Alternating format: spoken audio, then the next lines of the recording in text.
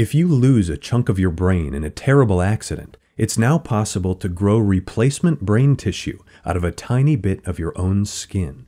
You could even grow a smarter person's brain tissue if you can get some of their skin. It's not legal to put it inside your skull yet if you're a human, but that's only a matter of time. The real problem is that the new brain tissue, no matter who it's grown from, won't know exactly where to plug into your brain.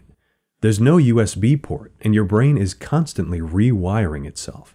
It's like a river, you never step in the same brain twice.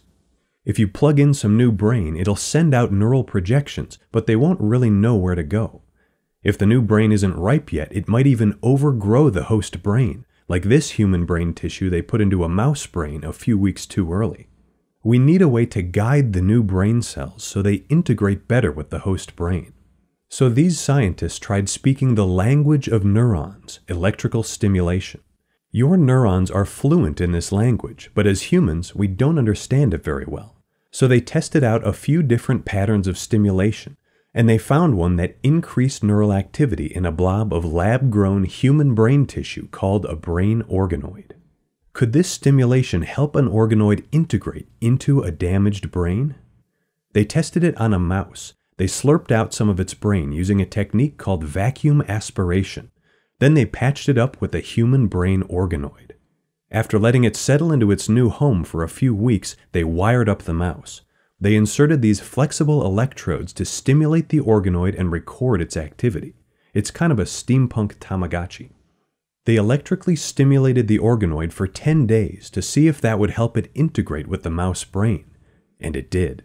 They compared two groups of transplanted mice, both had human brain organoids installed, but some of them also got the stimulation, and some didn't. The stimulated organoids grew bigger and had more mature neurons, probably in part because they got more blood vessels from the host brain. The neurons in the stimulated organoids had more dendritic spines, which can receive input from other neurons. But did they form more connections with the host brain? When two neurons meet to form a connection called a synapse, there's a presynaptic neuron that releases neurotransmitters, and they get picked up by receptors on a postsynaptic neuron. Each side of the synapse has molecular signatures that you can stain with certain colors to count the connections. They colored the presynaptic human neurons red and the postsynaptic mouse neurons green. Then they counted the synapses where both sides met in the organoids that got the electrical stimulation, you can see more synaptic connections between the organoid implant and the host brain. So the organoids looked bigger, more mature, and more connected to their new brains if they got electrical stimulation. But did this actually help make up for the sensory cortex getting vacuumed out? Apparently so. When you poke a mouse in the foot with a bendy wire, you usually see brain activity in the gamma band associated with pain. This activity was significantly reduced in the mice who got the brain swap, even five months after the transplant, indicating some impairment in pain perception. That might be a blessing for a lab mouse, but the point of this study is to restore function, including pain perception.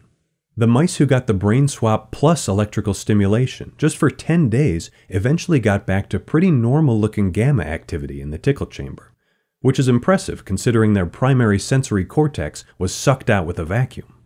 So the future looks bright for organoid brain computer interfaces, or OBCIs.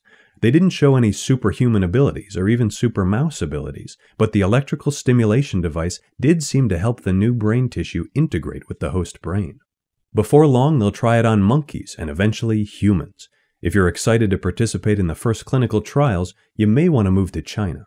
If you just want to become a more informed consumer of research like this, check out our sponsor, Brilliant. They have thousands of interactive lessons to give you a strong foundation in scientific thinking. Learn math, computer programming, data analysis, and more using real world examples. See why artificial neural networks are so good at things like computer vision and large language models. Next time you're waiting in a line and you pull out your phone to make it less awkward, you could be learning science from first principles, even if you only have a minute or two. Try Brilliant free for 30 days at brilliant.org/ihm. That'll also get you 20% off an annual subscription. That's brilliant.org/ihm for a free 30 days. Thanks for watching.